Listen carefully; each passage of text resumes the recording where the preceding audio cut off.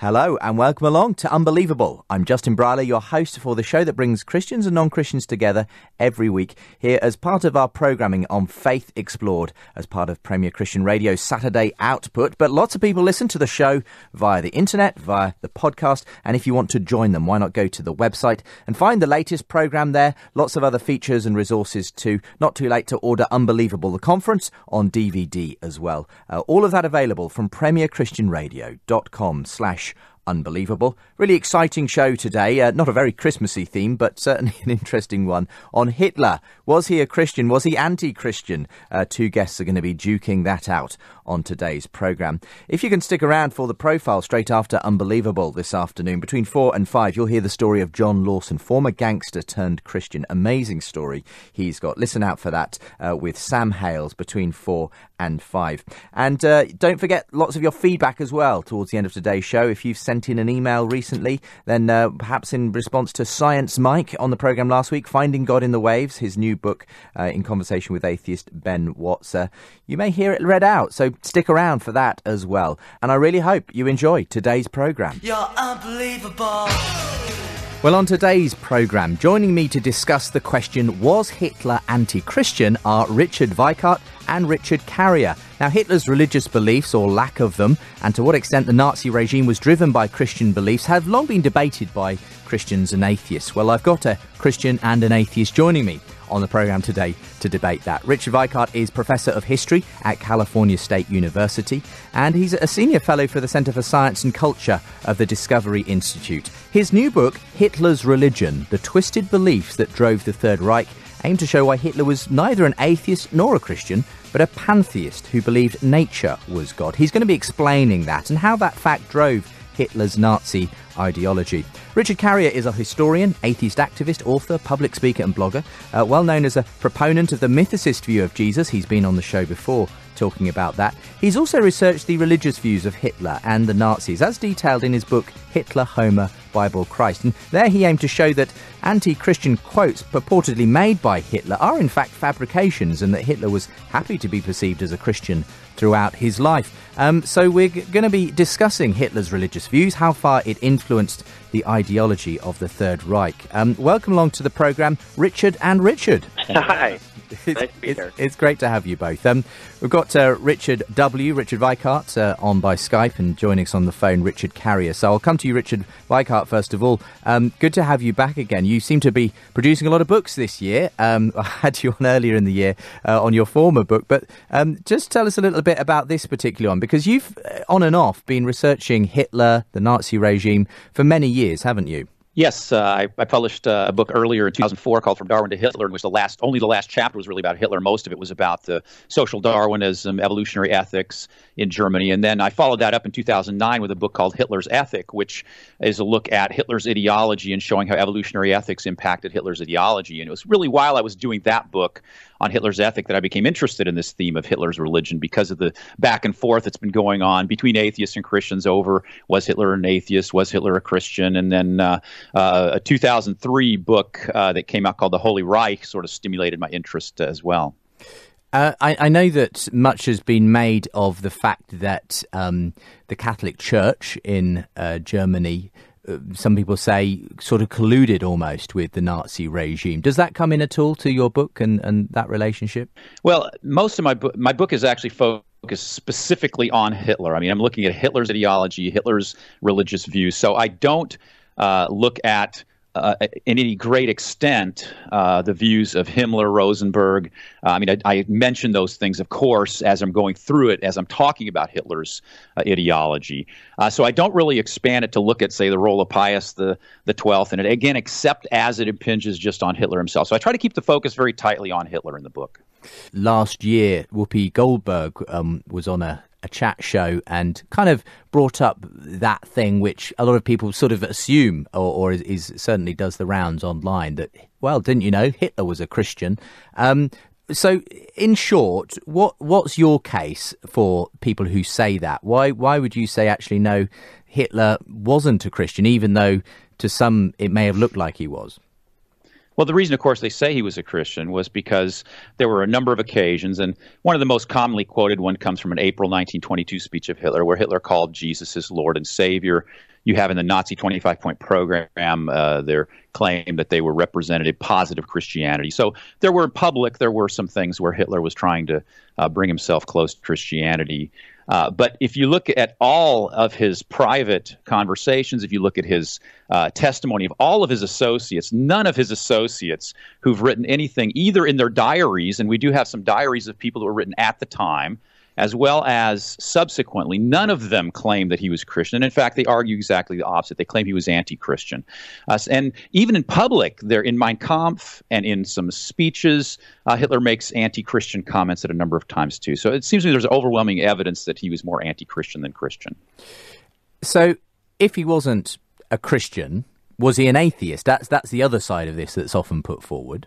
Yeah, and that uh, that I would actually agree with uh, Richard Carrier on that uh, particular issue because I think uh, Christians who assume that Hitler was an atheist because he wasn't a Christian are jumping to a wrong conclusion too. Hitler, I think, did have a sincere belief in some kind of God, and that again, if you look again at, at the evidence from his own associates, from private conversations he had, I mean, the evidence seems to point overwhelmingly to the fact that he did believe in some kind of higher being or higher power.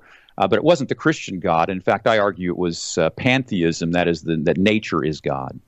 We'll get you to unpack a bit about how that would have driven, you know, his particular ideology and so on. Um, what what fed into that as well? I mean, very briefly, can you give us a sense of uh, what kind of religious influences impinged on him as he grew up, and and how that fed into what would become his sort of pantheism, as you call it? As I show in my book, Hitler's Religion, uh, pantheism was pretty widespread in German and on the intellectual elites throughout the course of the 19th century and on into the early 20th century. And there's been a good deal of scholarship uh, showing that. Uh, so it wasn't like an unusual, weird kind of view. Uh, for a, a, German to take who's uh, widely read. Uh, and Hitler did read voraciously. so, Hitler, at, of course, he was baptized as a Catholic. He was confirmed as a Catholic, although there are actually some evidence that he wasn't too uh, happy with the Catholic Church even at that point when he went through his confirmation uh, ceremony. Uh, his dad was a freethinker, though, uh, so his dad uh, was anti Catholic uh, pretty much. His mom was very pious, though. So in growing up, he sort of had some mixed influences coming in from his family situation. But after he left home, there's no evidence that he ever attended church uh, after that point, except for funerals, weddings, special occasions like that. Uh, and if you read Hitler's Vienna by Brigitte Hamann uh, and a scholarship about Hitler during the First World War, all of it points, all of the scholars who've uh, written on that suggest that even from a very young age, he was pretty uh, anti- uh, pretty antagonistic toward the Catholic Church and his upbringing. So even though he never left the Catholic Church, there was never, as far as I'm aware, excommunicated. Um, as far as you can see, he was either very nominal or even uh, antagonistic at some level towards it. Yes, and uh, Joseph Goebbels also never left the Catholic Church, uh, even though he's very obviously antagonistic toward it. Uh, read his diaries, read uh, many other th- conversations he had. Uh, so uh, this was not an unusual thing. Ernst Haeckel, in fact, I, I, bring up some examples in my book about it too. Ernst Haeckel, for example, who was a uh, the leading German Darwinian biologist in the late 19th and early 20th centuries, never left the Protestant Church until 1910, after he'd been criticizing it for 40 or 40 years or more. Uh, so it was not wasn't an unusual thing for people not to leave the church, even though they had rejected the church's teachings. Well, thank you very much for joining me on the programme today. And uh, we're going to be joined by another Richard now, Richard Carrier, um, who is great to have in conversation with Richard Weikart. Richard Carrier has also done quite a bit of research on the issue of Hitler's religion. Um, Richard, welcome along again to the programme today. Um, what got you interested initially in looking into some of the historical arguments about whether Hitler was or wasn't a Christian? Well, it started uh, many years ago when I was in graduate school. Uh, I was studying ancient history and, and the origins of Christianity and ancient science and so forth. And one of the things that I was doing, of course, is learning how to translate uh, scholarly articles in other languages. And so Dan Barker of the Freedom from Religion Foundation knew about this, and he kept getting these quotes thrown at him by Christians that, in which Hitler is basically uh, radically anti-Christian and essentially making Hitler look like an atheist. And he wanted me to research whether those quotes, uh, the English translations, were accurate translations of the Germans. and that led me to discover that in fact uh, they were not. Um, that in fact there were uh, huge distortions in the English translation uh, commissioned by Hugh Trevor Roper. So it's the only English translation available uh, in print, which is called Hitler's Table Talk. It's unreliable in this regard, and that, that's a whole other long story unto itself. Um, and then when you go back and look at the actual German, you find the reality is much more complicated and nuanced. I, believe that this particular chapter that, that became part of your, your wider book, Hitler, Homer, Bible, Christ, has sort of um, had a bit of an update this year as well. Um, that the person who were, as it were, is behind that book. Uh, um, it's it's been seen that actually uh, your research has, uh, you know, played into a new understanding of Hitler's table talk. Yeah, absolutely. Um, my original research I published in German Studies Review back in 2003, and ever since that, it's actually had an impact on the whole field of Hitler studies. Uh, Richard Steigmann-Gall, for example, cites it uh, in his book, and, and so does Weikart. Weikart mentions uh, my research and how it impacts how we understand the table talk, uh, and leads, I think, has led to more responsible use of that source, uh, even in Weikart's book. Um, and then now, uh, lately, in the past few years, uh, Professor Mikael Nilsson of Uppsala University in Sweden uh, has picked up this mantle. Uh because uh, what I did in my article is I, I, I published in German Studies Review what I found and that it's a problem and that more research is needed. So Nilsson is now doing that more research, and he's actually uncovering all kinds of things. He's digging through archives and so forth, and and is learning more and more about uh, the path of the manuscripts of the table talk and how they came to exist, and the fact that there was actually worries about the English translation being inaccurate uh, that were kept hidden from the public for many years. So there's there's a whole other backstory to this. I the, these, so the, this table talk um, book was supposedly based on notes taken by some of Hitler's associates as he sort of spoke at the table, as it were, about his beliefs about Correct. religion and so on. Um, and, but there, has been a lot of doubt cast upon whether a um, the translation was correct in the first place, um, as I understand it. But then even sort of the fact that these notes were actually written down the day after and and prob- probably involved so- something of a re- reconstitution of what he may or may not have said. But it, it's fascinating stuff, and obviously as a historian, the kind of thing you're interested in doing. Um, I, oh yeah. I, I mean, as regards the general tenor of Hitler towards Christianity, though, what's your overall takeaway? Um, obviously, you, you don't believe he said some of the very anti-Christian things that, that have commonly been associated with him. But but what what was what is your view about about where he stood in terms of religion? Well, what I've found is that uh, all the passages that even Weikart uh, presents of him attacking Christianity are actually attacking Catholicism and church-based religion. Uh, and so this we have this confusion here between being anti-Christian and being anti-Catholic or anti-church. There are lots and lots of Christians, millions and millions of Christians, even today, who are anti-Catholic and anti-church, and say almost the exact same kinds of things that Hitler said against institutionalized religion, against sectarianism, uh, against uh, Catholic uh, doctrines, and so forth, such as worship of saints or transubstantiation, and so on. So we really, if we're going to look at the text, we have to tease out this difference between how Hitler used the word in German Christentum. Does he mean Christianity in this broad, abstract sense that we mean right now in this conversation, or did he mean, in fact, actually institutionalized Christianity, Catholicism, and the major churches?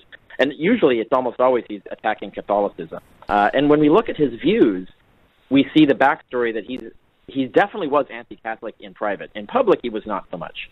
In public, he really tried to play up his Catholicism but in private, he was totally reversed on that and actually was advocating, and we can show this point by point by point, that his positions were very much in line with this very sort of bizarre sect of Christianity called positive Christianity, uh, developed by uh, Nazis and Nazi sympathizers in the early 20th century. So you still believe, uh, whatever he believed about Catholicism, he still held some sort of, uh, albeit warped, view of Christianity? Yeah, I would, uh, yeah, that's my view of it for okay. sure. Well, we'll come back to Richard Weikart in a moment's time and, and see what he has to say in response to this. Um, looking forward to this. Uh, it often comes up in all kinds of conversations here on Unbelievable. The, the Hitler card. Often it's uh, invoked as Godwin's law. If you play Hitler, then you've automatically lost the debate. I think is the rule. But we're we're not playing that one on today's show. That would be uh, that would be a bit bit tough. Um, but um, uh, if you want to get involved in the debate, of course, as ever, you can get in touch via email or send me a message via Facebook and uh, and Twitter. Uh, be be pleased to hear from you uh, if you've got a take on the question of Hitler, his religion. Was he Christian, anti Christian, something else, um, do email in unbelievable at premier.org.uk. Be interested to hear from you. Uh, Facebook.com slash unbelievablejb is the way to follow on Facebook. Uh, send me a message that way. And of course, the Twitter at unbelievablejb to follow on Twitter.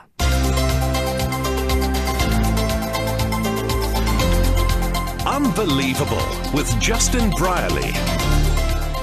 And don't forget, you can get in touch uh, via the website. Uh, so do find the latest show, links to both my guests, Richard Weikart and Richard Carrier, and their various uh, works to do with today's discussion at premierchristianradio.com slash unbelievable. We're asking today, was Hitler anti Christian? Not a very Christmassy show, I will admit. We've got something much more Chris, Chris, much more Christmassy for you uh, uh, on Christmas Eve next week. But um, but for the moment, this is coming out the back of um, the fact Richard Weikart has a new book out. Uh, Richard Weikart is professor of history at California State University, and uh, his new book, Hitler's Religion: The Twisted Beliefs That Drove the Third Reich, aims to show Hitler was neither an atheist nor a Christian, but a pantheist who believed nature was God. Now, um, what we just heard there from Richard Carrier, Richard W, is that um, as far as he can see, uh, Rich, uh, certainly Hitler seemed in private anti-Catholic, anti-church, the institution, but not necessarily anti-Christian. He held a sort of Christian belief himself, um, perhaps this uh, Christian positivism that, that was popular. Um, what, what's your take on that? Well, first of all, I think we need to define what Christianity is, and that's been a big problem, I think, in the debate here over because if we're going to argue, you know, was Hitler anti-Christian, we need to know what we're talking about. And in my book, I use the World Council of Churches definition of Christianity, which is the claim that Christ is divine, that is, that Christ is deity. Uh, as well as that there is a triune God, the Father, Son, and Holy Spirit. And so I use that as sort of just a very basic uh, definition of Christianity. And if you look at Hitler's uh, discussions about Jesus and about Christianity, uh, there is absolutely no evidence that Hitler believed that Jesus was divine. And in fact, there's a lot of evidence to suggest he didn't think that Jesus was divine. For example, uh, this is just one of the stronger pieces of evidence, but I mean, I've, I've a lot of it in my book. Uh, in a speech that Hitler gave in 1926, he made the comment that the work which Christ had begun but could not finish, he, meaning Hitler, would complete. So Hitler thought that when Jesus, Hitler believed that Jesus existed, certainly. And in fact, by the way, uh, Hitler did actually uh, have actually a positive view of, of Jesus. When he talks about Jesus, he actually thinks of Jesus as being a, a noble Aryan fighter. He thought Jesus was not Jewish. He thought Jesus was an Aryan fighter uh, who was fighting against the Jews, and he thought that Jesus was anti-Semitic. And so he he actually does uh, speak positively about Jesus, but he doesn't think that Jesus died on the cross for his sins. He doesn't think that Jesus rose from the dead. He criticizes the idea of Jesus' resurrection very directly. Uh, and he, uh, at one point, uh, Goebbels, just to give another example, uh, and the one I just quoted about him, you know, Jesus, the work that, uh, that Jesus had was not able to complete. Hitler saw Jesus as being a martyr. He was killed by the Jews, uh, but that was it. And, Hitler, and Jesus had not been able to complete his work of just trying to destroy the Jews, essentially. Uh, so Hitler didn't believe that Jesus had accomplished, uh, you know, his death on the cross or resurrection was a reality. And then let me just give another quotation from May 1943. This is according to Goebbels' diaries. Uh, Goebbels said that Hitler had said, the idiocy of the Christian doctrine of salvation is for our time completely unusable. Nonetheless, there are scholars, educated people, and men in high positions in public life who hang on to it as to a childhood faith. That even today, one views the Christian doctrine of salvation as giving direction through a difficult life is completely incomprehensible. So Hitler attacked some of the most basic doctrines of Christianity and, and not just Catholic doctrines. Yes, he did attack the doctrine of transubstantiation, as Richard Carrier suggested, but he also attacked the doctrine of salvation. He attacked the doctrine of believing in the Bible. He, he rejected the Old Testament as Jewish. He rejected uh, all the Pauline epistles because he thought Paul was a sneaky Jewish rabbi who had snuck Bolshevik ideas into Christianity from the very start. So he rejected Christianity from the time Paul on. he, he, again, he idealized Jesus. And so if that makes a person a Christian, but the Muslims do too. Muslims think Jesus was a prophet. Uh, so, you know, what is identifiably Christian about Hitler's views? I, I, it's not there. Okay, really interesting. Um, okay, so Richard Carrier, uh, to all intents and purposes, Hitler didn't have any kind of what would be considered even a basic kind of Christian beliefs. So, so even if he kind of had some views about Jesus, they certainly couldn't have been described as Christian ones. What, what's your take on that? Well, I think that's a typical example of excluding a bunch of Christians. I mean, we're now excluding from the definition of Christians Mormons, Unitarians, Quakers, Jehovah's Witnesses, Branch Davidians, People's Temple.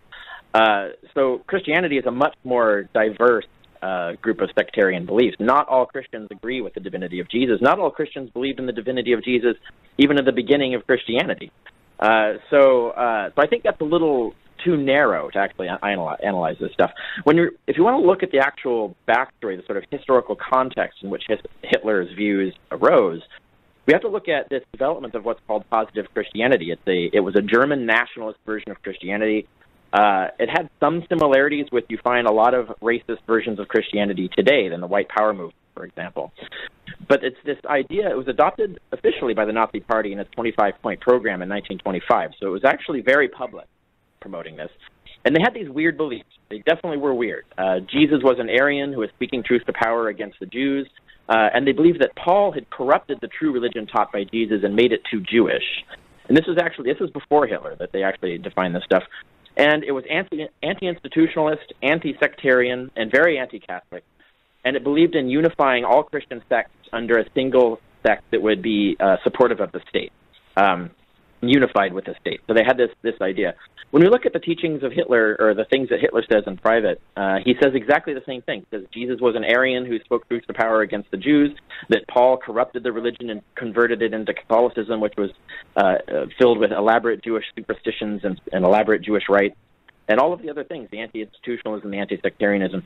So, the, especially those particular doctrines, the idea that Paul corrupted and Judaized religion and turned it into Catholicism, uh, and that Jesus was an Aryan.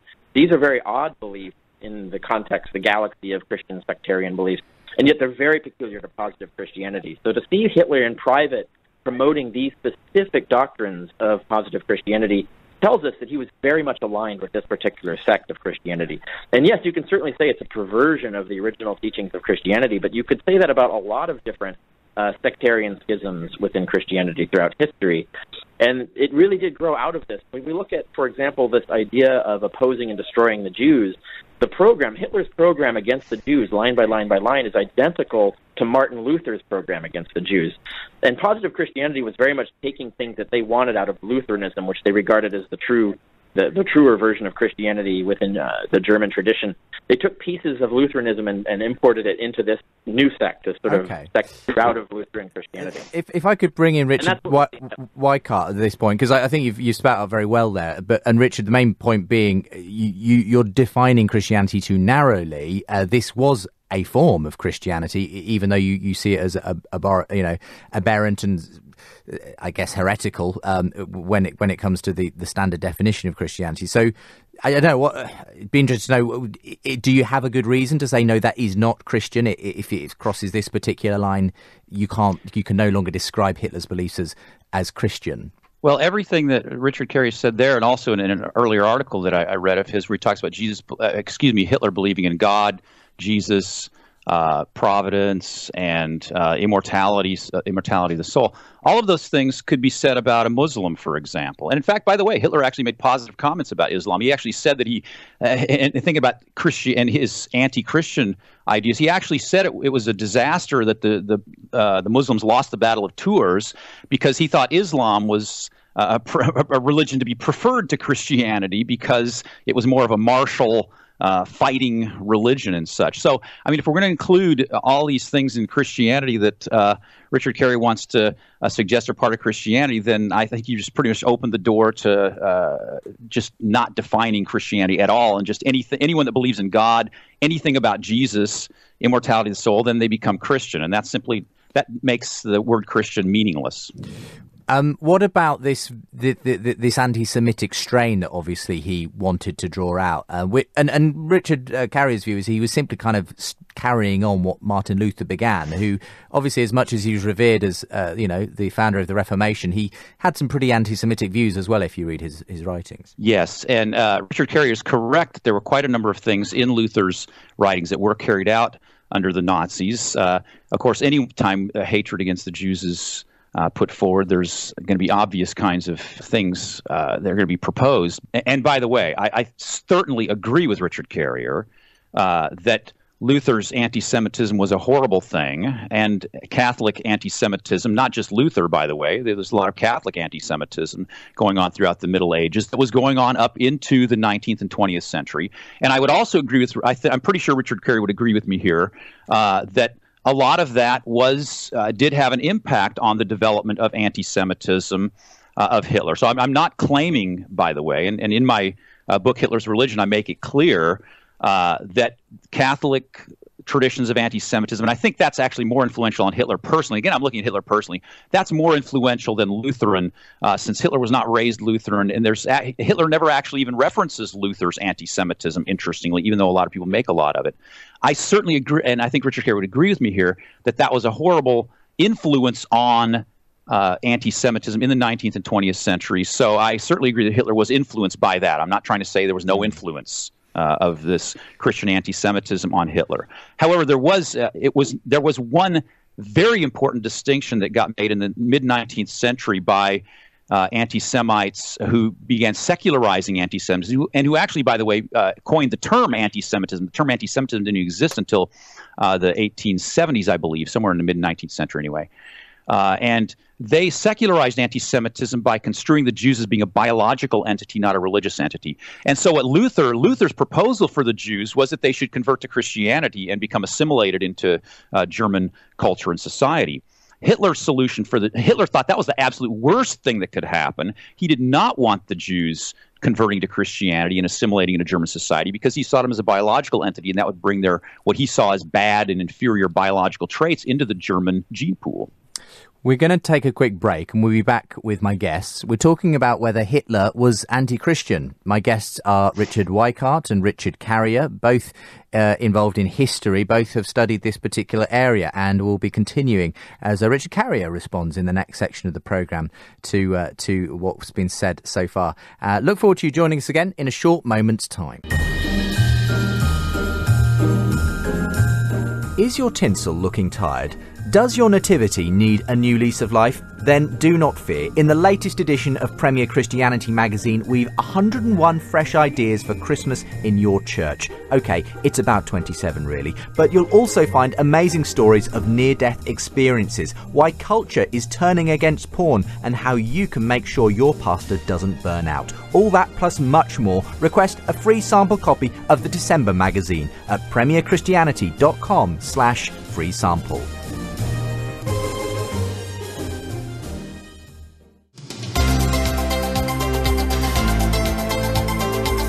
You're listening to Unbelievable on Premier Christian Radio.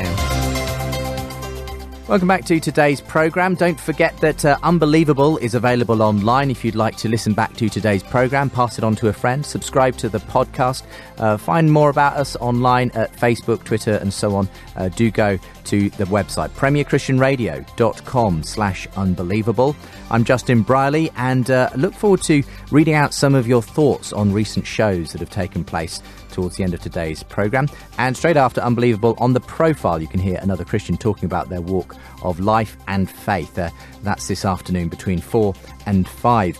Uh, today on the programme, we're asking Was Hitler anti Christian? A new book by Richard Weikart uh, called Hitler's Religion The Twisted Beliefs That Drove the Third Reich aims to show why Hitler was neither an atheist nor a Christian, as atheists and Christians sometimes claim, uh, but a pantheist who believed nature was God. We'll get more from him on that. So Richard Carrier is in conversation with him. Richard Carrier is a historian himself, an atheist activist, author, public speaker, and blogger.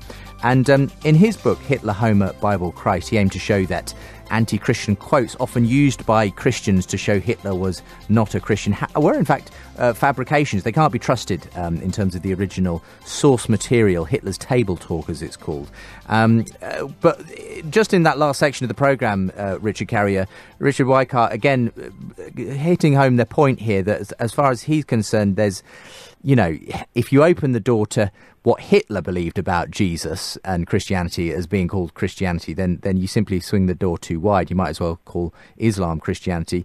And and also this this point that he made about Yes, of course, um, the, the anti Semitism of Luther was regrettable, though, as far as Richard Weikart's concerned, not necessarily that great an influence on Hitler, probably more the anti Semitism through uh, the, in Catholicism that, that, that influenced him. Um, anyway, lots to respond to there. Where do you want to begin? Well, I would just focus on this idea that we're trying to define Christianity in such a way that we can excuse Christianity from blame for any of this, which obviously I think even Weikart agrees that we shouldn't be going that far. If we're going to say that positive Christianity, which was definitely believed and promoted as a Christian sect and regarded as a Christian sect by the Germans and, and beyond uh, at the time, if we're going to say that positive Christianity is a, per, a perversion of Christianity so far that it is therefore no longer Christianity, then we actually have to say the same thing about Hitler's racial Darwinism. That it was it's actually going so far against what Darwin said that it's a perversion of Darwinism, and that that's not really Darwinism. Uh, when we look at uh, Darwin's teachings on moral intelligence, and there's um, Vincent di Norcia writes a really good article on this for Philosophy Now online. People want to look at this. Darwin on moral intelligence, he says. Uh, you can really see, and you, you compare this to what Hitler said. Uh, Hitler said, for example, that man is superior to the animals because he rec- recognizes a creative power. Darwin said that man is superior to the animals because he recognizes the cruelty of Darwinism and thus has sympathy for his fellows, which actually elevates him above the animals. There's no mention in uh, Darwinian thought of Jews being an inferior race or a threat to be eradicated, or even saying that of any race whatsoever. The whole idea of racializing this is not Darwinian at all. Instead, Darwin advocated that moral cooperation in society, helping the weak, is an evolved trait and therefore actually a superior trait, and therefore because it's better than war and killing each other the idea of turning this around and actually perverting this into some sort of racialized, war supporting, uh, eradicating a race concept and turning it against the Jews, that all came from Christianity. And Hitler, like I said, Hitler's program against the Jews is really matching up with Christian programs against the Jews. It did not come from the Darwinian side of his thought.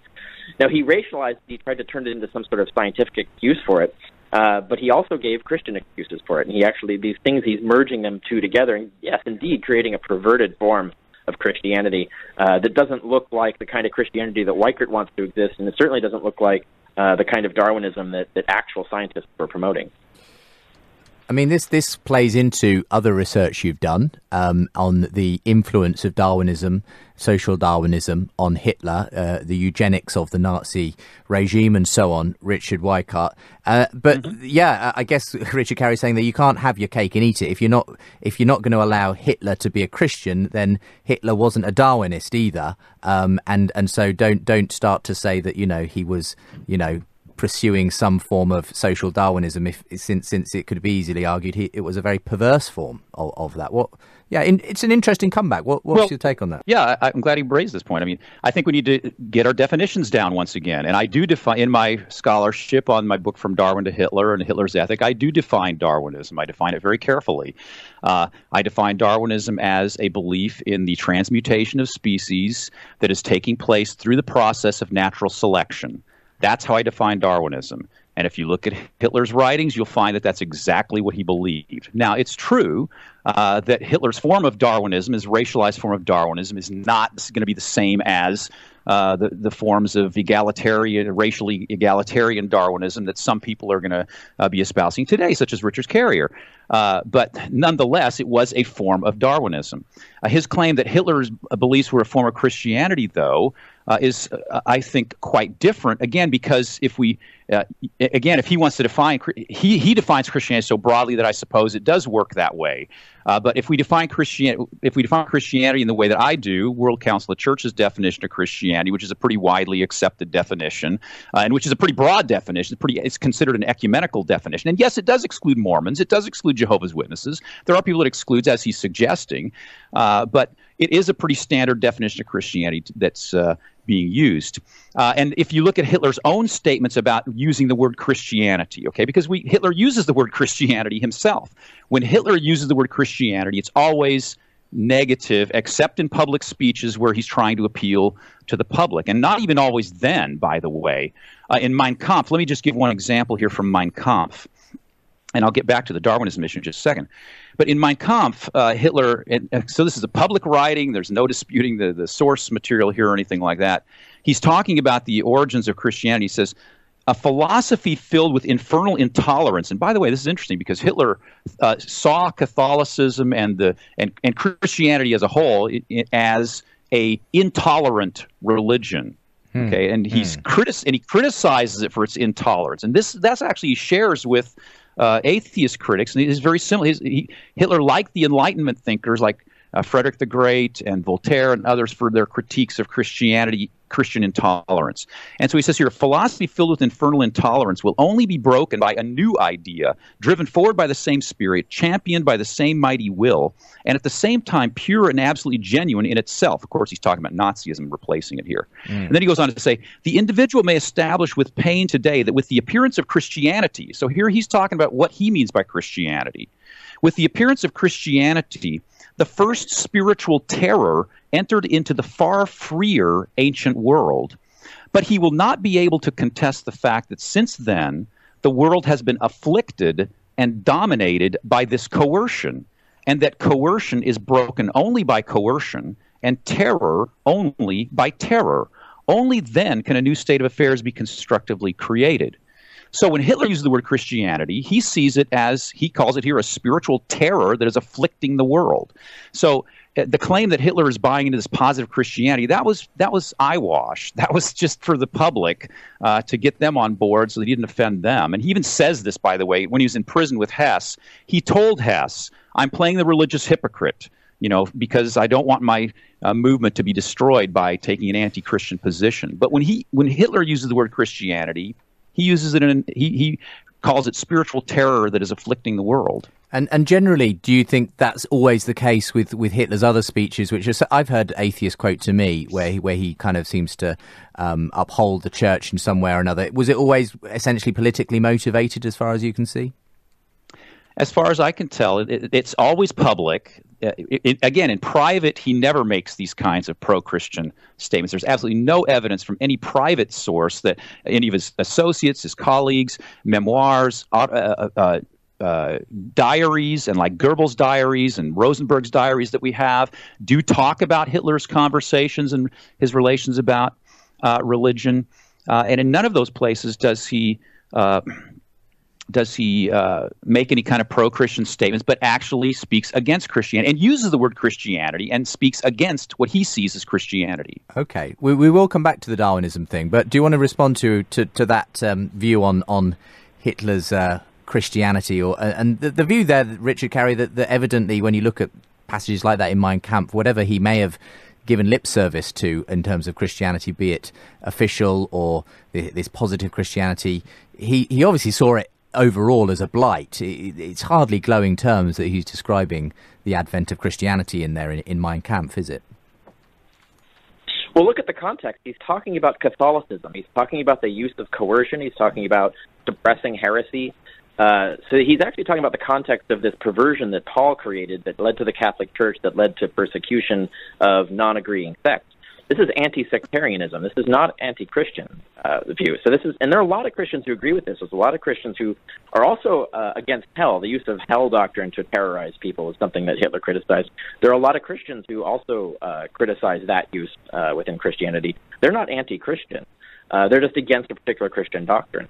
And this is the context that Hitler's talking about. He's talking about Catholicism. This is positive Christianity creeping through.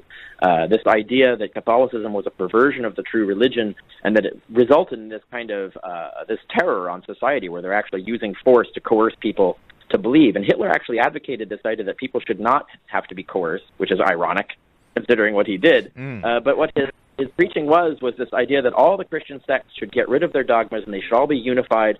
That there shouldn't be sectarianism. Uh, that there should just be uh, one free religion. And he, he, you know, he often talked in glowing terms about this future state of the world where everybody will be in agreement and it'll be uh, wonderful and there won't be these doctrines and there won't be these, this, the use of coercion won't be necessary anymore and all of this stuff. Um, I think that's utopian and ridiculous of him to think that, considering all the horrible things that he was doing to coerce people. Uh, but that, that you know, there's a disconnect between his behavior and his beliefs in this regard. But definitely, the thing that he's talking about. He's talking about Catholicism. He's talking about coercion. He's talking about institutionalized religion. He's talking about sectarianism. He's not lambasting the idea that there should be a Christian society or that he should be a Christian. I mean, I guess my question, Richard Carrier, is, is what's left once he's kind of, you know, dismissed all of the whatever his views were of the Catholic Church and Christ, uh, you know Christian doctrines, you know, have, have, have, you know, if he's saying none of that is true, uh, it's all a perversion of what he he obviously had this this bizarre Aryan view of Jesus and so on. I mean, all, all you, it feels to me all you're left with is a very strange kind of dogma that essentially was there to prop up his particular type of racism. Um, and I don't know. I can understand Richard Weikart feeling like, well, calling that Christianity is, is a bit of a stretch. It's it's obviously something that seems like a useful sort of thing to to to, to kind of use as as an ideological uh, uh, framework for, for what he wanted to do with the world. I mean, do you, do you really think he did think of himself as a Christian? Is is that really kind of what you, you think he, he genuinely thought? I am a Christian because I have these views. Yeah, and he would, if someone were to probe, he would say, you know, I, I if, if he were to be honest, he would say, I, I espouse and agree with the views of positive Christianity, uh, which it believed in that the, nature was created by God and, and that all of nature's laws were put in place by God and represent God's will. Uh, that God had providence for the world, and that Hitler was at his actions against the Jews is actually part of God's providence. Uh, he believed that he was going to go to heaven. Uh, he talks about how he expects to go to heaven and live with heroes rather than weaklings, enlightened spirits in some sort of Olympus, he says. Uh, and it, so he had this, he had different views than some Christians about who would go to heaven, things like that. But he did expect this, and he expected this because he fulfilled God's law. It, it sounds like what, what you described there, though, is is essentially what Richard Weikart calls pantheism, and so you're kind of using just different words for the same the same religious views. Well, he, no, it's definitely it's definitely a personal God. Uh, pantheism uh, is the view that nature and God are the same thing.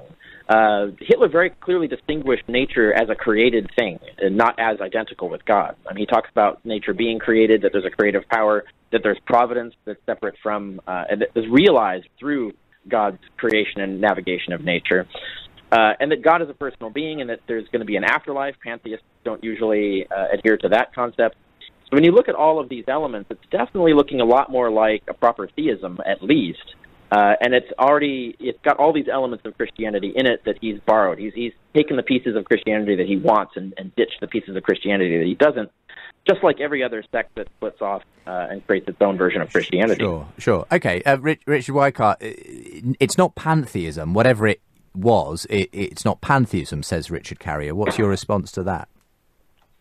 Well, Hitler does, of course, use the term God, providence, uh, quite freely in a number of places, and the word creator as well. In fact, I have a, a whole chapter in my book called uh, "Was Hitler a Creationist?" because this has been thrown at me too that Hitler was a creationist because he does use the word creator at various times. What's interesting, though, if you look at those particular passages, like in Mein Kampf and in Hitler's second book and and elsewhere, where he's actually talking about those things, he does tend to deify nature. In fact, interestingly, the the translators of Mein Kampf even capitalize the word nature uh, in those contexts. Now, we don't know if Hitler would have done that because he capitalized all nouns, because that's how German is written.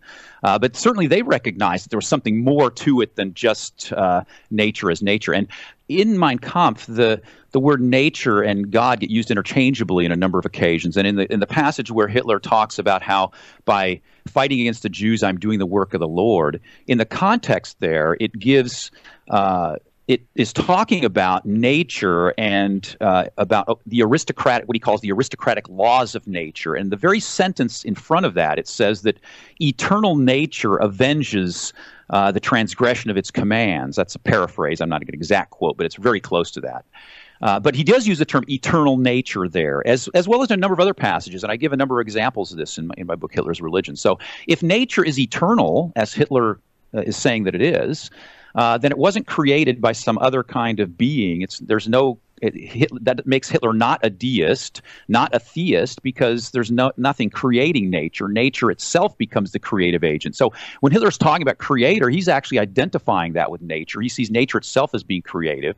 And I do agree with Richard Carrier, by the way, that he saw himself as obeying the divine will, but the divine will was the laws of nature because he thought the Darwinian struggle for existence was one of the highest laws of nature that he needed to try to fulfill.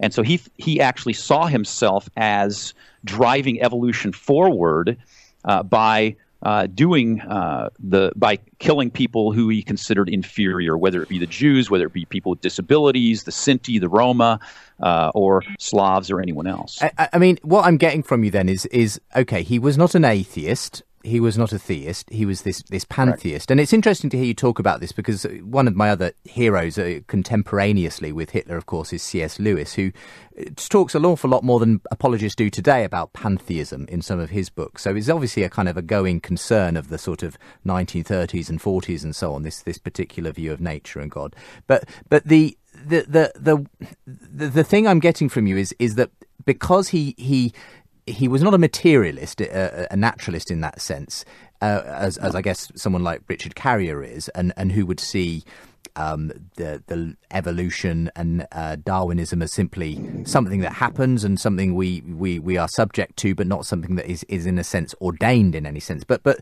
what you're saying, Richard Weikart, is that, that Hitler had a view that this Darwin Darwinist view of, of life actually was a law to be driven forward, something that, that that was a teleological in that sense that that it what that the, the the reason the fittest survived is because that was the way things should be. Is that is that kind of what I'm getting from you there?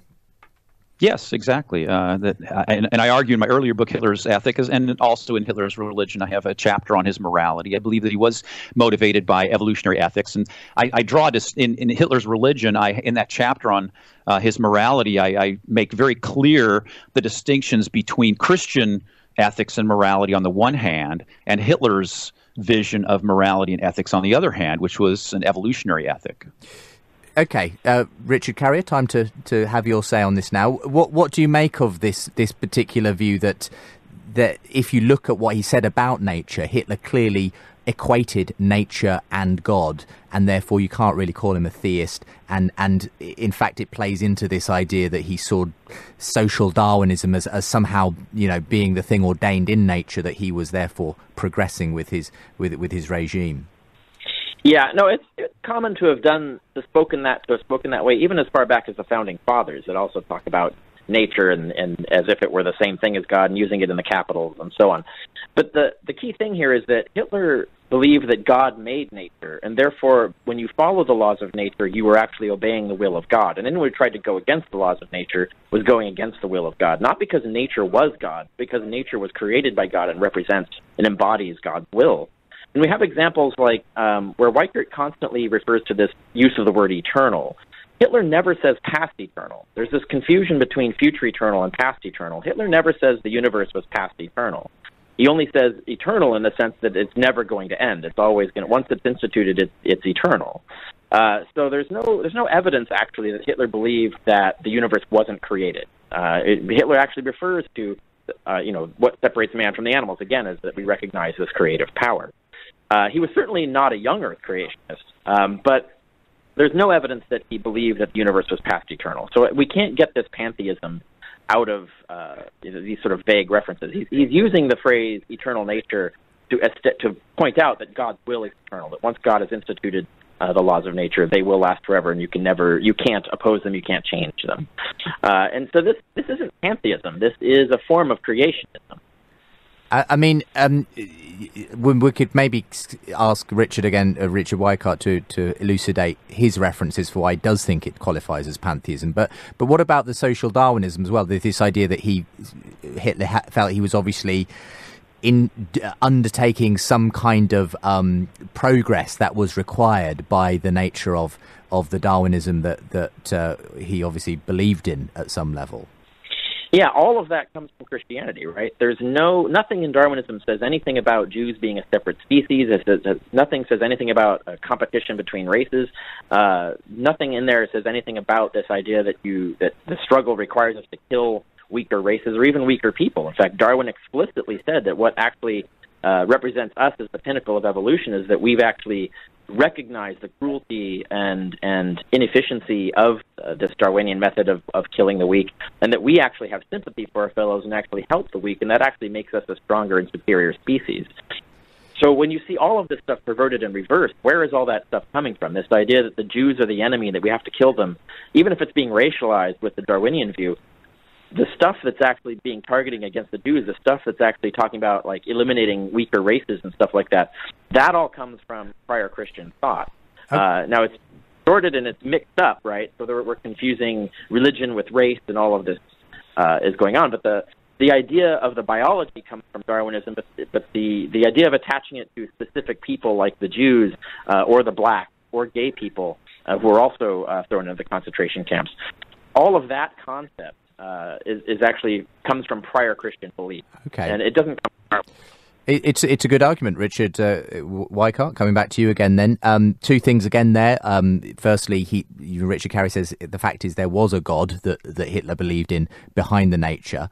Um, and uh, doesn't necessarily believe in a, in a past eternal universe either. So some kind of mm. creation. Uh, and secondly, uh, you know, Darwinism is is neutral uh, as as a sort of statement of what happens in nature. It was Hitler who attached these religious associations of certain people, types of people, and so on, who who should be eliminated. So uh, just just a couple of minutes before we have to go to our final break. Go ahead.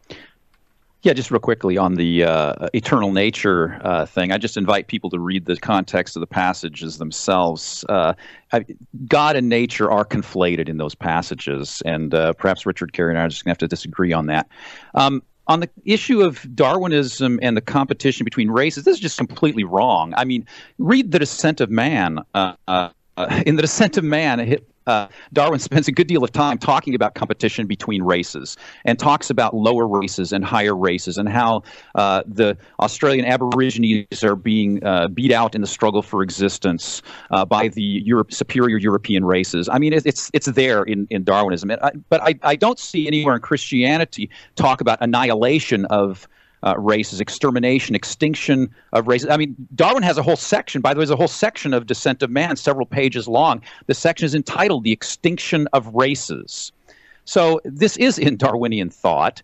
Uh, and so Hitler isn't just making this up. And if you look at Ernst Haeckel's uh, views, who was a very the, mo- the most famous German Darwinist in the late 19th, early 20th century. Ernst Haeckel very clearly was teaching uh, that different races exterminated other races in the course of the struggle for existence. So uh, Hitler didn't get this from any Christian context that we should go out and exterminate races. This is a, a con. Although obviously racism pre-existed Darwinism, but Darwinism integrated that racism into his theory and uh, but but isn't Richard, Richard Carrier's point is going on? Isn't Sorry, Richard Carrier's point that um, Darwin may have been describing what happens in, in the struggle for survival, but that in his own personal reflections on it, he he believed humans were, you know, because of our, our being the pinnacle of this evolutionary process, we shouldn't. Uh, we, we should yes. be, show compassion and, and kindness and, and you know to people you know and so on in contrast to obviously Hitler's own views on that uh, actually, uh, Darwin did at times make comments that were a little bit more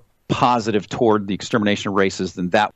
The attempt he talked about compassion was talking about internal within societies, not in the the racial context. But uh, uh, Richard Carrier's point is well taken about the Jews. I mean, the Jews issue that was abs- Darwin had absolutely nothing to do with anti-Semitism. The only times he mentions the Jews on a couple of occasions that I've been able to find, he makes very positive uh, references toward them. But if you also look at the the German Darwinists who came after uh, Darwin. Many of them were much more rabidly racist than Darwin himself. Uh, and so Hitler was in the German context, uh, uh, even though we don't have evidence that he uh, specifically read Ernst Haeckel, he certainly was familiar with Haeckel's ideas, and he talks about a number of Haeckel's ideas uh, on a lot of occasions. He certainly believed in uh, human evolution and such. So, okay. yes, the Jews issue that has nothing to do with Darwinism, that was, but that was integrated into it. But it was integrated into it by people before Hitler, too, like Theodor Fritsch, who was one of the most prominent anti Semite thinkers in the early 20th century Germany. Fritsch was a very very rabid social Darwinist who uh, believed the Jews were an inferior race and that they were uh, that there was a struggle for existence going on between the Aryans, and so did and Chamberlain's ideas about the racial struggle also uh, tie in uh, here as well. We're, we're, going to take a quick break. Um, I'm just fascinated by the, the history lesson being received on Unbelievable today. Hope you are too. Was Hitler anti Christian? Our question. Uh, two different perspectives join me as ever on the programme. Uh, Richard Carrier and Richard Weikart uh, will be continuing this discussion, concluding it in just a moment's time. In July 2016, Unbelievable the Conference took place in London, a day for any Christian who struggles to share their faith with others. I'm Justin Brierley, and I hosted a fantastic day of inspirational sessions with J. John, Gary Habermas, Beth Grove, and many others. Now you've got the chance to watch and listen to over 12 hours of this empowering conference featuring evangelism, apologetics, and the resurrection. Get your DVD at premier.org.uk slash shop and become a confident evangelist today. Welcome back to the final part of this week's Unbelievable, the program that brings Christians and non Christians together. We'll be finishing our discussion on Hitler, whether he was anti Christian, in a moment. Uh, we'll be hearing some of your feedback as well to last week's program a little later. Uh, Uh, that was between Mike McHargue, or Science Mike as he's often known online. His story of going from being a Christian to an atheist and finding faith again through science. He was in conversation with an ex Christian uh, last week. That was Ben Watt, who lost his faith through science. And uh, uh, varied kind of responses actually to that programme. Uh, so we'll be hearing some of what uh, you had to say about that. Don't forget that Unbelievable is brought to you as part of Faith Explored here on Premier Christian Radio. And Faith Explored itself brought to you in association with Premier Christianity magazine. I'm the senior editor of the mag. I know that a number of people who do listen to Unbelievable also subscribe to the magazine. But if you're not among them and you'd like to find out more about the mag, you can find our website at premierchristianity.com.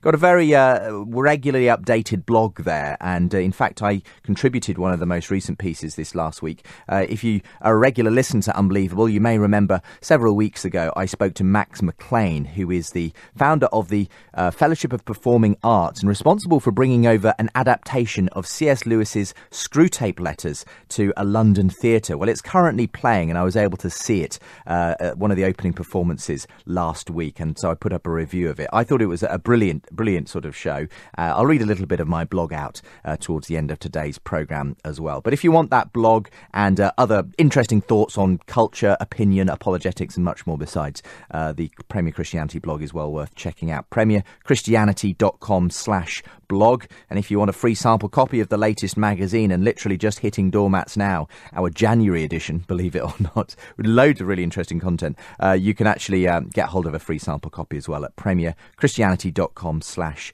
free sample. Okay, uh, let's get into the final part of today's show. You're listening to Unbelievable on Premier Christian Radio. So we're concluding our discussion today. Was Hitler anti-Christian here on Unbelievable? This is the show that brings Christians and non-Christians together for dialogue and debate. And our, our non-Christian is Richard Carrier, historian, atheist, activist, author, public speaker and blogger. Well known, and he's been on the show before talking about it in uh, previous years for his mythicist view of Jesus. Um, but he's also uh, researched the religious views of Hitler, uh, detailed in his book Hitler Homer, Bible Christ. Make sure there are links to Richard and the book from today's uh, episode online, premierchristianradio.com slash unbelievable. Our other Richard has been Richard Weikart, Professor of History at California State University, whose new book, Hitler's Religion, The Twisted Beliefs That Drove the Third Reich, aims to show why Hitler was neither an atheist nor a Christian, but a pantheist. And that was certainly part of what took up our discussion in the last section of the show. Um, and as we've discussed this, this whole question of what Hitler really believed and, and whether they, these beliefs kind of drove um, the the ideology of the Nazi Party. Um, uh, it's it's been a fascinating discussion, gentlemen. Thank you very much again for, for coming on and talking about this. Richard Carrier, uh, you, you obviously believe that Christianity, at some level, even if Christians like Richard Weikart say it was a perverse form of Christianity, you still say Christianity did have a, a hand, uh, a significant hand, in advancing what happened in Germany during the war years and before so I mean, obviously there were people like, you know, famously Dietrich Bonhoeffer, who represented a form of Christianity very much opposed to whatever type of Christianity Hitler claimed to, to represent. But for you, does it matter kind of at the end of the day which types of Christianity we're talking about for you? If, if Hitler claimed the word Christian, then Christianity was involved in his rise to power at some level. Is, is that what I'm getting from you? Oh, yes. Uh, and, and not just that, it, it's influential, right? So it's influencing, regardless of what you think, uh, how you want to describe his particular religion. Of course, he described it as Christian. Others described it as Christian. The it matches up line by line with positive Christianity, which was widely regarded widely regarded as a Christian sect. Uh, it was actually regarded as more normative as a Christian sect than the Jehovah's Witnesses, who were one of the most opposed to Hitler's uh, program in Germany. In fact, the, the Jehovah's Witnesses were widely rounded up and thrown in the concentration camps or outright executed. Um, and, and yet, I would regard the Jehovah's Witnesses obviously as a Christian sect, uh, and they didn't believe in the divinity of Jesus. They have a different uh, uh, set of beliefs uh, than other Christians, and they're excluded by Weikart's definition of Christianity. And I think that's unfortunate because they were some of the the biggest champions of uh, what Weikart would probably believe is, is the Christian reasons to be opposed to Hitler's regime, uh, and, and a lot of them died for it. Um, but nonetheless, Hitler's got his own perverted form of Christianity, and I see uh, here in America now, I'm really concerned by this kind of Christian nationalism that we see as elected Donald Trump. We have 80% of white evangelicals voted for this guy promoting, you know, ideas of uh, uh, demonizing Hispanics and Muslims in much a similar way to the way Hitler was doing it. Uh, now, he's not calling for concentration camps, but neither did Hitler explicitly. Um, but uh, so we see the same idea of this warmongering, uh, this idea that the that uh, that there's a superiority to being strong versus weak.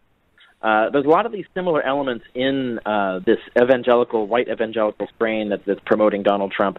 And you can see how it could get perverted further into a straight up new form of positive Christianity, the same way the Germans did. Uh, and so I think this is something we need to be very vigilant about. We should not try to pretend that Christianity cannot do this or cannot go there. We need to be vigilant. And there's a reason why the phrase never forget uh, has become, you know, uh, an, an idiom today. And mm. that's the thing we need to really be armed against. And we have to look at what were the Christian influences that caused Hitler to do what he did, that caused him to pervert pervert both Christianity and Darwinism and create this this weird amalgam of the two that is neither Darwinism nor Christianity by Weikart's uh, definition. Okay. So uh, yeah. we need to be constantly vigilant against that and not try to hide it. Okay. Okay. Um, I mean, it sounds um, a little bit like Richard Carrier saying there, Richard Weikart, you're you're trying to kind of exclude um, Hitler from Christianity by by tightly defining it as as you know, um, and but that that kind of is to not to give a true picture of, of the kind of influences that were at play in the, the rise of the Third Reich and so on. Go ahead. Well, again, well, again, I use a pretty expansive definition. It's not a real restrictive definition. It's considered an ecumenical definition, the World Council of Churches definition. And yet, Richard Carrier's right; it does exclude the Jehovah's Witnesses. Uh, however, we've talked a lot about the influences of Catholicism and Christianity on Hitler, and I'm not denying that there were all sorts of influences of Catholicism and Christianity on Hitler. Uh, it would be stupid, I think, to make that kind of an argument because he's growing up in a context in the, in the Western culture. I think Richard Carrier probably has lots of influences of Christianity in his life, despite the fact that he's an atheist. Uh, so I, am not certainly not trying to argue that Hitler had zero influence of Christianity. I, I would agree with Richard Carrier that we do should examine and see what elements those are. And in my chapter where I talk about Hitler's anti-Semitism, I admit that uh, Christian forms of anti-Semitism did feed into uh, the anti-Semitism that was pervading Germany in the 19th and 20th centuries, and that uh, thus fed into Hitler. Although I also then point out that it was it became secular. There was new kind of secularized forms of anti-Semitism that emerged there. But what we haven't yet talked about, uh, that maybe I'd like to bring up just in these last couple minutes, is that there were also a lot of anti-Christian influences on Hitler that we haven't mentioned so far. Uh, for instance, if we ask who was Hitler's favorite philosopher, as it turns out, Hitler's favorite philosopher was Arthur Schopenhauer, uh, who was an atheist. Uh, and Hitler claimed that he carried around Schopenhauer's books and uh, complete works in his backpack when he was in World War One, and makes other claims about Schopenhauer later on. This no idea about Schopenhauer uh, had this sort of an idea of an impersonal will that was extremely important in Hitler's thinking. Hitler also revered uh, Friedrich Nietzsche when he talked about uh, who he thought some of the three greatest philosophers were. Nietzsche was also one of the persons on that list, and Hitler. Uh, I have a, actually I have a, a photo in my book uh, showing Hitler across from a Nietzsche bust when he was visiting the Nietzsche archives, because Hitler visited the Nietzsche archives on several occasions and gave of his own personal funds to the Nietzsche archives. So here we have uh, Hitler, even though it's sometimes he's publicly portraying himself as uh, being Christian, he's publicly portraying himself as being Nietzschean also at the same time, who's, of course, famous for his dictum, God is dead. That doesn't mean Hitler was an atheist, but it does mean that Hitler is, uh, sees something in Nietzsche that he really likes and Schopenhauer as well. So Hitler revered atheist philosophers and was receiving a lot of influences from non Christian and atheistic sources uh, as well. It wasn't just Christianity was influencing him, uh, it was atheism, it was uh, pantheism. There was a whole, uh, Hitler drew on a wide variety of sources. And yes, I agree with Richard Carrier that we should look at all of those and see uh, how they've influenced him and, and try to avoid those uh, problems that. Uh, the and the atrocities that were committed as a result of that. Mm. Fascinating stuff. Um, Richard Carrier, Richard Weikart, thank you very much. Um, both, I think, excellently held your corners as historians uh, on this subject. Uh, really appreciate uh, uh the, the dialogue that we've had on the programme today. Um, Richard Carrier, where should people go to find out more about you and your writings and speaking and books and so on? Uh, everything you can get to through www.richardcarrier.info. That's .info. Um, all my social media, all my books, my online teaching, um, everything you might be interested in, my blogging and so forth, is all warehoused through there. You can find it all through richardcarrier.info. Great. Thank you very much for, for joining us on the program again. Hopefully, we, uh, will get you on again at some point in 2017. Who knows? Um, great to have you on the program today. Um, Richard Weikart, uh, similarly, thanks to you. Uh, for, for people to find out more about you and the book, where should they go? Well, uh, for this particular book, you're going to have to actually uh, go to Amazon or one of the other websites there. I don't actually have it up on any of the. DarwinToHitler.com has information about some of my earlier works. I don't think we got this one up yet on there, or just Google my name, uh, uh, my website, and my univer- I have a university website, but much too long to give it out right here. So just Google my name and you'll find it. Yes, you've written quite a few interesting articles related to this as well. I, we didn't get time to discuss it, but the, an interesting discovery you made about yes. a, a doctored yes, fo- I, a photo in, in the book as well. Uh, yes, yeah, that came out pretty recently in the stream uh, about Dr. Hitler's uh, doctored photo of Hitler. Yeah, just Google that doctored photo. My name W E I K A R T. Google that, and you'll probably uh, find that up too. Where I and that that uh, photo, by the way, is in the book also. Uh, it's a doctored photo of Hitler with a cross over his head, and then it got airbrushed away in a later version. And by the way, that's the only doctored photo that any Nazi historian that I've talked to so far has knows about. Wow, interesting, interesting stuff. Anyway, um, yeah, um, let yourselves in for a bit of history. Uh, read the book. Uh, I'll make sure there's links as well from the Unbelievable website as well. But Richard Weikart and Richard Carrier, thank you both for being with me on today's program. Thanks for having us. Thank you. It's been great.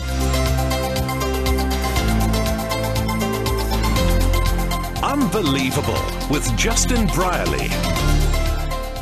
Well, as ever, if you want to get in touch, you can email in unbelievable at premier.org.uk. Look forward to hearing from you that way. Uh, you can also, of course, uh, leave your thoughts on Facebook and Twitter. Follow the show at unbelievablejb on Twitter, facebook.com slash unbelievablejb for the show page. Uh, I quite often post the latest show, obviously, thoughts on other things, and indeed uh, interesting blogs. Uh, quite a few of the blogs that uh, Premier Christianity magazine publish end up on the Facebook page of Unbelievable as well. Uh, and uh, that includes, for instance, the review that I put up this last week of the Screwtape Letters, new adaptation of C.S. Lewis's classic book, uh, playing in London over Christmas and into the new year. Uh, and uh, it's, a, it's a great adaptation. I'll, I'll read you in a moment a little bit of the, um, the review that I put up on our blog recently. Uh, but you might be interested to know, um, those who listened last week, and I talked a little bit about the Chris Goswami blog, Why I Don't Have Enough Faith to Be an Atheist, and some of the kickback that got from atheists responding on the Unbelievable uh, Facebook page. Uh, well, uh, we've just put up a response from an atheist, uh, Corey Markham, who's a previous guest a couple of times on this programme. So, again, another good reason to go and visit the blog if you can. PremierChristianity.com forward slash blog, or simply go onto the Unbelievable Facebook page, uh, facebook.com slash unbelievablejb, and you'll find that I've posted it there. Uh, but going back to uh, that um, that uh, review uh, of the, the Screwtape Letters uh, that's been playing in London for the last week and a half or so, and it will be continuing, I think, through to the 7th of January. this is what I wrote, just the intro at least, to my, my blog review of it. 75 years later, Screwtape still steals the show. A new adaptation of C.S. Lewis's Screwtape Letters proves the devil may not have the best music, but he still has most of the best lines. First published in 1942, The Screwtape Letters was the novel that propelled C.S. Lewis to international fame before he'd even begun to compose the Narnia Chronicles, the children's literature for which he's most well known. The genius of Lewis's book, in which a senior devil Screwtape gives advice to his nephew Wormwood, a junior demon, on tempting a human patient on Earth, was the way in which morality was inverted. Good becomes bad and bad becomes good, as Screwtape dispenses devilish guidance on how best to provoke the pride, gluttony, and other vices of the human his underling has been assigned to. Like the Narnia stories, Screwtape had an appeal beyond a specifically Christian audience, and various dramatic adaptations of the book by well known actors such as John Cleese and Andy Serkis have prov- proved that its themes have continued to speak to the wider public. In the decades since it was written avarice, pride, and gluttony have never gone away, even if the methods for indulging them have changed. Perhaps this is what convinced Max McLean, founder of Christian Theatre Company, the Fellowship of Performing Arts, to bring his theatrical adaptation of Screwtape to UK shores this Christmas. Sticking closely to the text of the book, this 90 minute one act play is a dramatic monologue by McLean, who plays the titular role. The only other character is his animated secretary of sorts, Toadpipe, a role much expanded from the book to allow for some dramatic license on stage alongside McLean's spoken words. The Rolling Stones track, Sympathy for the Devil, played as the audience congregated in the small venue of the Park Theatre, Finsbury, where the play runs until the 7th of January. The intimate setting puts you in almost uncomfortably close proximity to Screwtape, who inhabits an office in hell, furnished with a leather armchair, footstool, and an innovative mail chute for the receiving and sending of his correspondence. The bones of the damned provide a decorative backdrop, and there's a suitably fiery red tinge of lighting to the proceedings.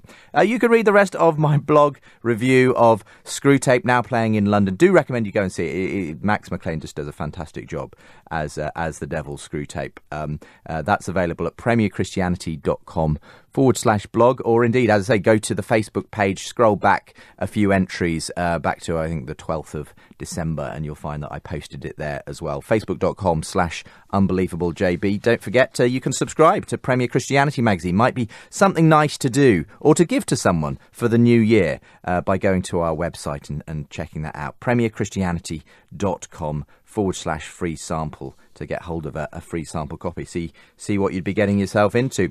Okay, let's look at some of your emails and correspondence regarding last week's programme, and that was Mike McHargue and atheist Ben Watts. Mike was an atheist. Well, he was a Christian, then he became an atheist, then he's gone back to being a Christian. Well, depends on your definition of Christian, and, and that was one of the things we sort of discussed on the programme itself. Um, but he's got a fascinating story. Um, here's some of what you said on the Facebook uh, once I put the podcast up on the Facebook page. Um, Solomon Parker, great show. If it weren't for Mike, I don't know where I would be. Sounds interesting, Solomon. You might want to flesh that out a bit. Uh, John Osborne says the show wasn't what I expected, but it was very interesting nevertheless. It made me feel a bit better about my own status of non materialist atheist slash agnostic. The problem is, with most faith, it seems you're either fully convinced or you're damned. The show made me think that it might be okay to not be sure. Uh, Jennifer said, This is so good. Thanks again, Justin. And um, here's a few of your comments from underneath the show. If you go to the web page itself, where you can listen back to the programme on the Unbelievable website. Uh, there's various people who have left comments and responses to those comments and so on. Uh, a regular kind of community, really, that gathers in the comment section underneath each show week by week. Uh, here's Andrew who said, um, Justin, this is a renewed call for you to publish a calendar of upcoming episodes, especially where the guest has a publication that's likely to be discussed. We, as listeners and contributors, would like to familiar ourselves with their work prior to an episode. Publishing a schedule would prime the pump for each week's debate and help eliminate ambiguity and speculation around guests from all quarters. Um, thank you very much, uh, Andrew. It is a lovely idea. The problem for me is that, uh, if I'm completely honest, I don't always know what two weeks in advance exactly what is going to be on a show. Uh, it just depends how far ahead I'm able to plan these things, and, and it isn't always far enough ahead to, to really be able to give good um, good notice, um, uh, particularly as to which which particular weekend they're going to air. But um, I, I, appreciate that. It's something maybe we'll try and work towards in the future, and uh, and thank you for raising it. I, and I'm I'm uh, really humbled, really, that that you uh, see the program as important enough to want to obviously be well read before you actually hear the guests doing their discussions. Dr. Richard Walsh says, Good discussion. Ben commendably maintains his atheistic stance and is not persuaded by Mike and his mystical experience on the seashore, following an obvious auditory hallucination, otherwise known as locution. These experiences are not uncommon and usually non pathological. Neuroscience has now successfully demonstrated the neurological causative factors left amyg- amyg- amygdaloid hyperactivity, particularly, undoubtedly responsible. Finding God in the waves is most surely purely anecdotal, subjective, no doubt transformative, but hardly convincing, given the universality of religious experiences as recorded in all culture at all times. Um, the, the, odd thing is that, in a, in a sense, Mike McHargue isn't going to disagree that it could all be explained by physical things in the brain. I mean, that's kind of the point. Uh, the question is, is that all that's going on? And um, as I say, I, I, I, would recommend the book. Um, uh, you, you, may want to get hold of it and, and read it. Dr. Richard Walsh Tylerby. Uh, regarding the apparent contradiction of Mike saying he's both a non theist and a Christian, it's a shame that Justin or Ben didn't ask the simple questions to provide some basic clarification whether Mike believes in the divinity of Jesus, the resurrection, the atonement, etc. However, Mike explained more clearly on the Life After God podcast hosted by ex Christian Ryan Bell that the God he now talks about is closer to Einstein's God or Tara's God. You refer there to Tara, another regular poster. He clearly doesn't believe in the God of the Bible and therefore not in the divinity of Jesus, the resurrection, the atonement, etc. Um, so Mike belongs to the group of non-believing Christians, like Christian atheists, cultural Christians, or those who just follow Christian morality. I have some Christian relatives who don't believe in the resurrection, but they support Christian churches as a force for good in society. Supporters of Christian churches are therefore Christian on that basis.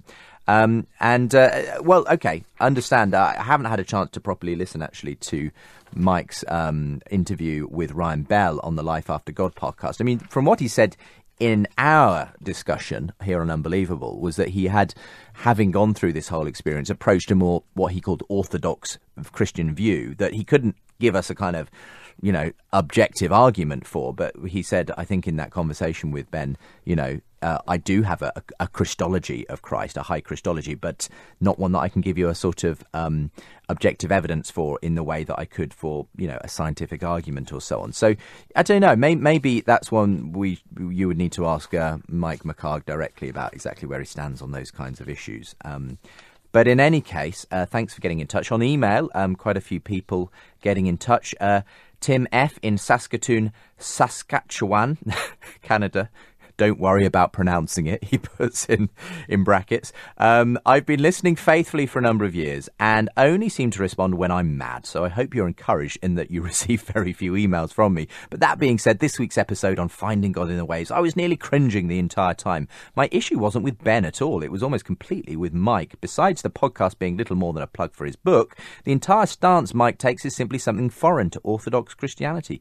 The Bible describes the Christian as a once God hating, dead to spiritual spirituality slave of sin who's chosen, redeemed, sanctified, and supernaturally changed by God to a God loving, sin hating slave of righteousness who studies, loves, knows, and imbibes the scriptures. I've no doubt Mike's a nice guy and a pleasure to be around, but I had a hard time differentiating what he described as Christianity from something I'd get from Deepak Chopra or Oprah or, well, let's face it, Rob Bell.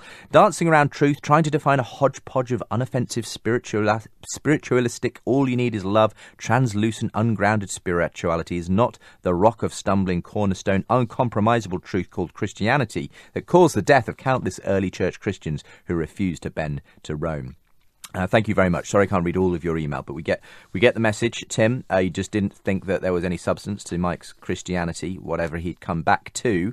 Uh, others, uh, different points of view. Here's Josh Grieve, who says, "Dear Justin, I'd like to chime in on your atheist guest Ben's comment regarding Mike's take on prayer and what separates that from simple atheistic meditation. Just listening to how Mike described his faith, no matter what one may think of his definition or lack thereof regarding God, the fact is that he views it as a personal and all-loving entity. So." So, in prayer, a materialist can do nothing but surrender themselves to a chaotic, impersonal force, I suppose, called nature. They can't trust that nature loves them, knows them, cares about them. They're surrendering like a fugitive surrenders to a squad of police he was trying to evade. And there might be peace in that, but the peace is nothing more than simply accepting the undesirable before an unrelenting force, incapable of love or consciousness. Mike, on the other hand, believes that he is surrendering himself before an entity likened to a father or a mother, whose will he does not pretend to know or understand, but whose will he nevertheless trusts, or at least desires to trust.